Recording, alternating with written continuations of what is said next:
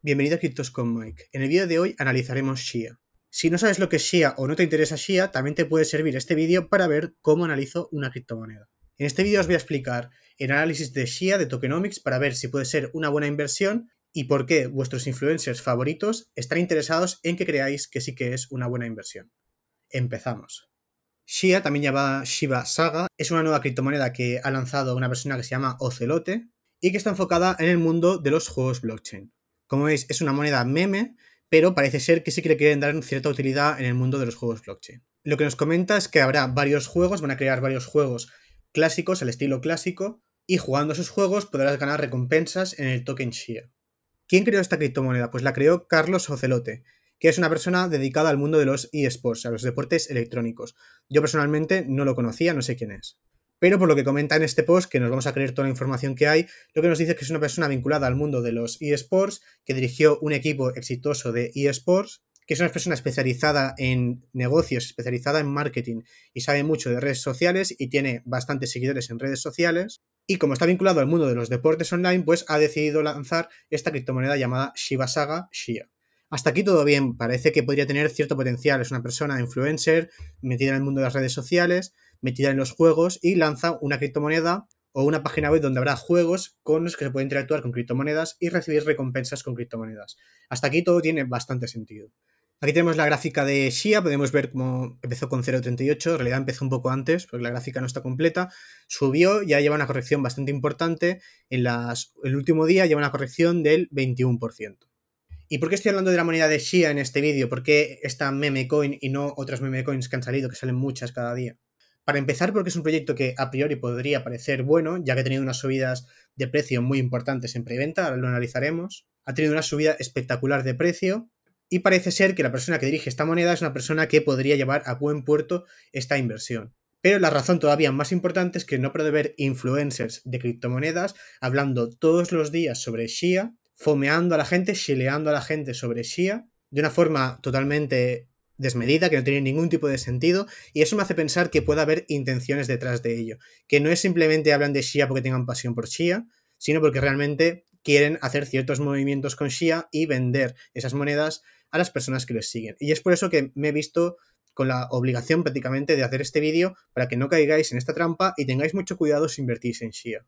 Respecto a mi opinión, me parece que puede ser interesante. ¿Qué no me gusta de Shia? Para empezar, que use otra vez el tema de Shiba. Estoy harto. Y si veo un proyecto que se llama Shiba, pues a mí ya me echan muchísimo para atrás. Porque hacer una meme de un meme es bastante ridículo y no tiene mucho sentido. Y no entiendo muy bien por qué Carlos Ocelote, si parece ser que es una persona que puede dirigir bien esto, ha tenido que utilizar el proyecto de Shiba en vez de construir algo nuevo. Pero a priori lo que es el ecosistema de juegos así más clásicos, que estén como modernizados para incluirlo con criptomonedas, me parece que tiene bastante sentido. Y además podría ser bastante parecido un poco a lo que ocurrió el pasado mercado alcista con el tema de Axie Infinity. Pero entonces, ¿qué es lo que no me gusta? Pues lo que no me gusta son los tokenomics. Y es lo que vamos a analizar ahora. Podemos ver los tokenomics en su página web, aunque ahora lo veremos más detallado, pero para que veáis más gráficamente cómo es, son 38% de recompensas para los juegos que habrá dentro del ecosistema, que será progresivo durante 36 meses, es decir, durante 3 años van a repartir el 38% del supply para los juegos. Está bien pensado, 36 meses, pues ya prácticamente hasta que termine el próximo mercado alcista. ¿Qué harán después de 36 meses? Eso no importa, porque el mercado ya estará cayendo y seguramente el proyecto desaparecerá. Así que lo han hecho ya pensando en un mercado alcista.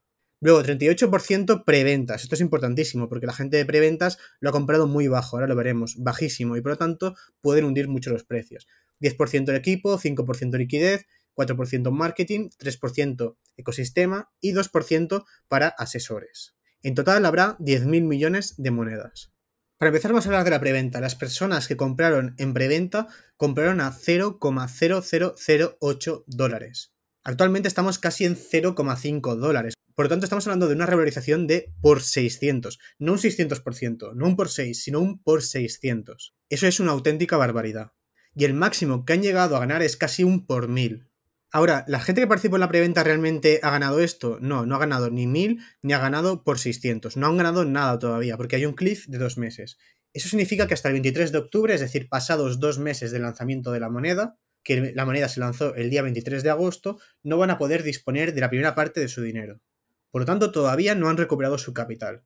¿Eso qué significa? Que el 23 de octubre va a haber una liberación y la gente de preventa va a vender, obviamente va a vender. Y eso va a significar grandes caídas de mercado. Y esto hay gente que lo sabe. Pero bueno, vamos a seguir profundizando en el tema de los tokenomics. Realmente en la página web de SHIA no hay unos tokenomics muy claros, que podamos ver exactamente las liberaciones cómo funcionan. Así que nos tenemos que basar en fuentes externas, en este caso en esta página web que se llama CryptoRank. Entonces, si algo del análisis no está bien hecho y algo de lo que digo perjudica al proyecto de SHIA, no es problema mío, es problema de SHIA por no hacer las cosas bien y poner en su página web unos tokenomics bien hechos y poner unas gráficas bien hechas de las liberaciones. Entonces, yo me voy a basar en la información que tenemos. Y quiero que os fijéis que tenemos una liberación que ya ha ocurrido el 22 de agosto que corresponde al 3,11%.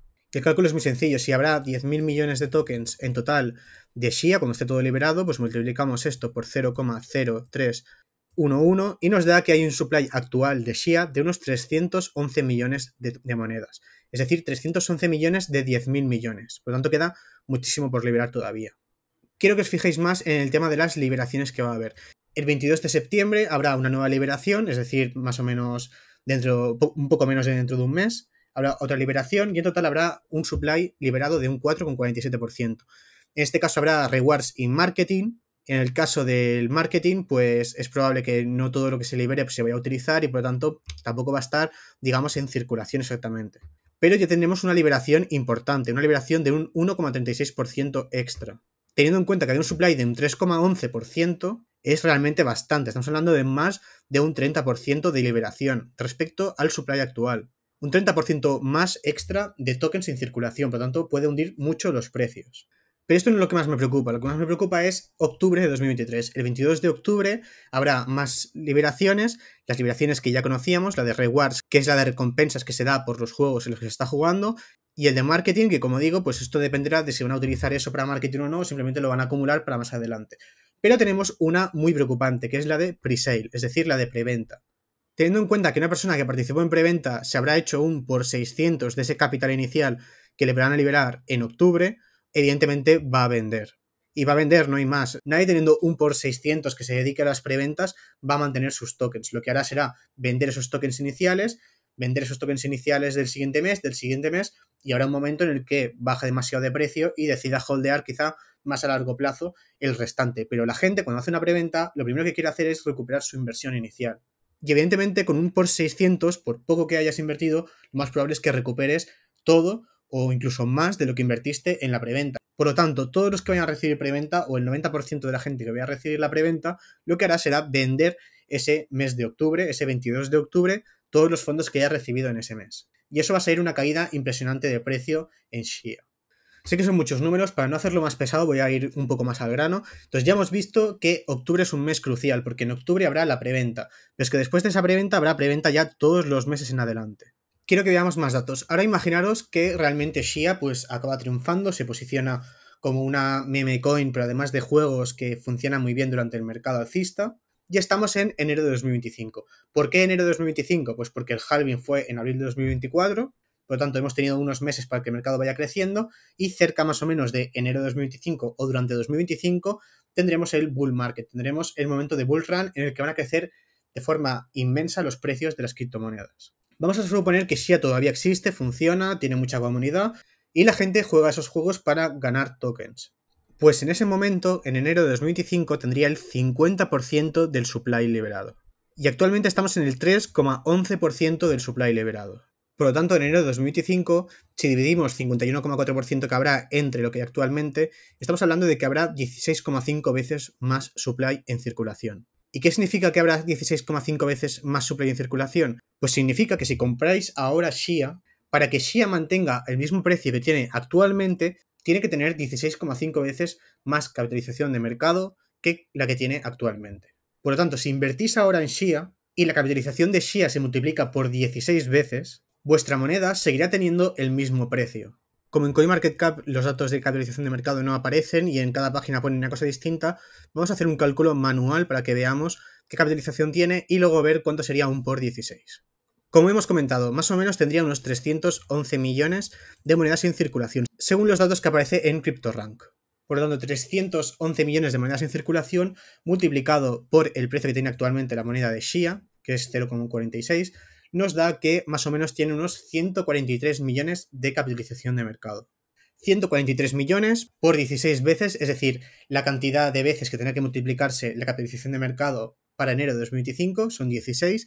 Estamos hablando de casi 2.300 millones. Por lo tanto, si tú inviertes en Shia hoy, ahora, en agosto de 2023, y Shia ha llegado a 2.300 millones de capitalización, estando actualmente en 140 millones, si llega a esta cifra, que es una cifra importante, habrías ganado 0 dólares. Tus monedas seguirían en el mismo precio. Y esto estamos suponiendo que Shia vaya bien. Como Shia vaya mal, estarías perdiendo dinero. Y en caso de que Shia fuera bien y estuviera, por ejemplo, en 5.000 millones, estamos hablando que le habría sacado en un año y cuatro meses a Shia, esa gran inversión que es Shia, básicamente un por dos y medio. Esta es la gran inversión en Shia. Y esto me molesta mucho porque estoy viendo muchos influencers, y esta vez también de la comunidad española, fomentar la compra de Shia. Y ya os digo yo cuál es su objetivo. Esta gente que está haciendo esto en la comunidad inglesa, pero también española, lo que están haciendo es venderte que Shia es la nueva Pepe, incluso algunos te están diciendo que están vendiendo sus carteras en Pepe y están rotando su capital hacia Shia, como que Shia va a ser la nueva meme coin que va a triunfar en el mercado, pero ellos saben perfectamente cómo funciona esto, saben que en septiembre hay una liberación, saben que en octubre habrá una liberación importantísima de la gente de preventa que lleva un por 600, que habrá una gran caída en Shia, saben que Shia a largo plazo no tiene ningún sentido, es decir, invertir ahora para el largo plazo, no tiene ningún tipo de sentido. Y a lo que están esperando para venderte sus criptomonedas a ti que confías en ellos, están esperando, uno, a las liberaciones de octubre, porque venderán unos días antes, antes de que todo se desplome y tú no lo sepas, o dos, están esperando a que se lance la moneda de Shia en Binance. Estos son los dos momentos en los que te venderán las monedas antes y tú te vas a quedar atrapado con tu Shia, o vas a perder grandes capitales en poco tiempo. Entonces ya sabéis cómo funciona esto, está todo lleno de gente intentando aprovecharse de otras personas. A mí lo que me importa es que los que me veáis a mí sepáis cómo funcionan las cosas intentéis evitar este tipo de FOMOS. Cuidado a quien seguís y cuando sigáis a alguien sabed muy bien por qué está haciendo lo que está haciendo. Si alguien de repente se pone como un loco a hablar de Shia constantemente, mucho cuidado porque lo más probable es que lo que quiera es que mucha gente entre en Shia al poco tiempo para vender su inversión a muy corto plazo. Si esa persona os vende que Shia es una inversión a muy corto plazo, y cuando digo corto plazo es máximo dos meses, pero incluso podemos estar hablando de días o semanas, en ese caso, si te lo explica todo bien, perfecto. Pero si te está diciendo que Shia va a ser la nueva Pepe o la nueva Shiba o, la nueva Doge, y tú interpretas de eso, como es lógico, que es a largo plazo, puedes tener serios problemas con tu inversión. Entonces, yo Shia personalmente no voy a tocar ningún palo, pero ¿cómo plantearía yo una posible inversión en Shia? Pues hay varias formas de invertir en SIA. La primera sería a muy corto plazo, es decir, especular a corto plazo a que pueda subir y tener en cuenta estos dos factores, listamiento en Binance y las liberaciones que hay los días 22 de cada mes. Especialmente la liberación que habrá en octubre, que es la liberación de preventas y en la que habrá prácticamente asegurado una gran caída en SHIA. Eso es lo que debéis tener en cuenta si estáis especulando a corto plazo. Otra forma de ver la inversión en SHIA sería utilizar sus juegos, no sé exactamente cómo está de desarrollo, pero si saben los juegos y queréis utilizar los juegos y conseguir tokens por jugar esos juegos, también es una opción eh, perfecta porque ahí no requeriréis en principio de una inversión, simplemente de vuestro tiempo. Y puede ser un poco rollo Axie Infinity. Igual os posicionáis a tiempo y podéis sacar bastantes recompensas. Tercera forma de ver la inversión en Shia, que es la que quizá yo me podría plantear en un futuro, pero en un futuro bastante lejano. Y sería ver la evolución de Shia. Si ahora vemos que Shia se posiciona como una meme coin líder, vemos que Shia se utiliza mucho en juegos y la gente empieza a utilizarlo y vemos indicios de que se podría convertir en una especie de Axie Infinity. Yo no invertiría en Shia, me esperaría y cuando viera que respecto al tema de las liberaciones Shia está empezando a superar, es decir, en el momento en el que vea que se compensa la entrada de capital con la liberación que hay, en ese momento podría plantearme una inversión en Shia para especular aunque para mí lo óptimo sería esperarnos más bien a finales de 2024, principios de 2025, que es cuando se espera que haya un bull run, que haya un momento de subida enorme de mercado. Porque en ese momento nos va a dar como Shia en 2027. Lo que nos importa es que el mercado a lo mejor le quedan cuatro meses. En esos cuatro meses la moneda de Shia se puede multiplicar por 10 o por 20. Y nosotros estamos posicionados en Shia. Y estamos posicionados en ese momento, en enero de 2025, por ejemplo. ¿Cuál es la diferencia entre invertir en SIA ahora, agosto de 2023, o invertir en SIA en enero de 2025? Que si tú inviertes ahora en agosto mil dólares, es muy probable que tengas en SIA en enero de 2025 mil dólares o mil dólares. Es decir, te mantengas en lo mismo o tengas un por dos. En cambio, yo esos mil dólares los puedo utilizar durante un año y cuatro meses para generar más dinero con esos mil dólares de una forma más segura porque no tendré unas liberaciones de un por 16 y puedo convertir a lo mejor esos mil dólares en 5.000 o en 10.000 invirtiendo en otras cosas que tengan menos liberaciones y tengan FOMO en ese momento. Eso tiene sentido.